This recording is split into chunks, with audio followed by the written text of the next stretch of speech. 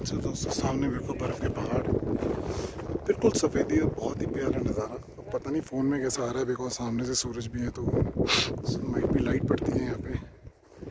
और ये देखिए।